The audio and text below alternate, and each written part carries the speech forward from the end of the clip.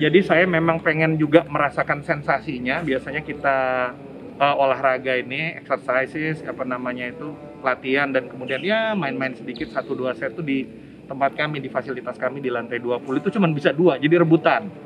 Nah, tetapi suasananya lain lah Ya. di sini. Tempatnya bebas gini kan, kemudian luas seperti itu sehingga kita bisa lebih mengeksplor kemampuan kita di sini. Tapi menurut pendapat saya dalam waktu dekat ini perlu kita perbaiki supaya dia jadi lebih layak dan lebih apa namanya dapat mendukung persiapan atlet-atlet kita untuk berlaga baik di turnamen nasional maupun di turnamen internasional. Tapi so far saya nyaman sekali di sini. Ini pertama kali rasanya menggunakan fasilitas eh, latihan bulu tangkis di Platnas Cipayung.